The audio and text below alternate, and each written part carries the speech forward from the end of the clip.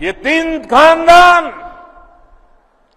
एक खानदान कांग्रेस का है, एक खानदान नेशनल कॉन्फ्रेंस का है, एक खानदान पीडीपी का है। ये तीनों खानदान जम्मू कश्मीर को दशकों दशक तक बर्बादी देने के जिम्मेदार है।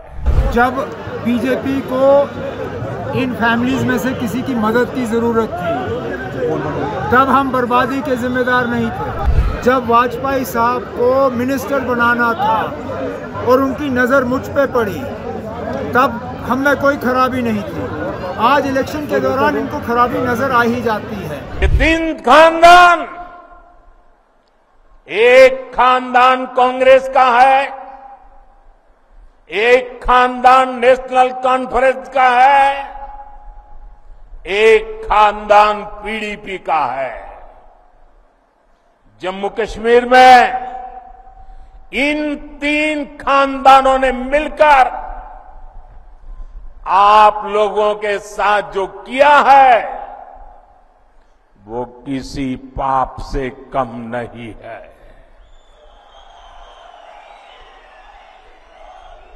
ये तीनों खानदान जम्मू कश्मीर को दशकों दशक तक बर्बादी देने के जिम्मेदार है।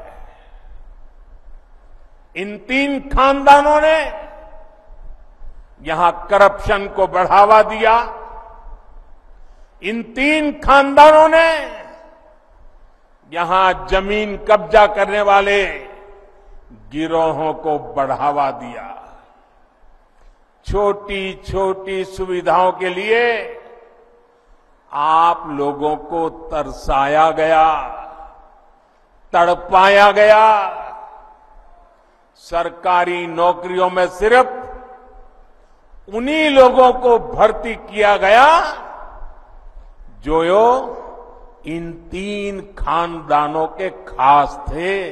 जब बीजेपी को इन फैमिलीज़ में से किसी की मदद की ज़रूरत थी, तब हम बर्बादी के जिम्मेदार नहीं थे। अभी मुश्किल से पाँच छः साल हो गए। पीडीपी के साथ तो बीजेपी का जम्मू कश्मीर में रिश्ता था। तब उनको पीडीपी में कोई खराबी नज़र नहीं आई। जब वाजपेयी साहब को मिनिस्टर बनाना था और उनकी नज़र मुझ पे पड़ी, तब हमें कोई खराबी नहीं थी आज इलेक्शन के दौरान इनको खराबी नज़र आ ही जाती है। आप यकीन माने, कल को अगर बीजेपी के नंबर कम पड़े और पीडीपी ने उनको दोबारा मदद करने का फैसला किया, उनको पीडीपी में कोई खराबी नज़र नहीं आएगी। ये वक्त की बात है ना, आप ये सियासी तकरीरें होती हैं और इलेक्शन के बाद इन चीज़ों को बुलाया जाता है।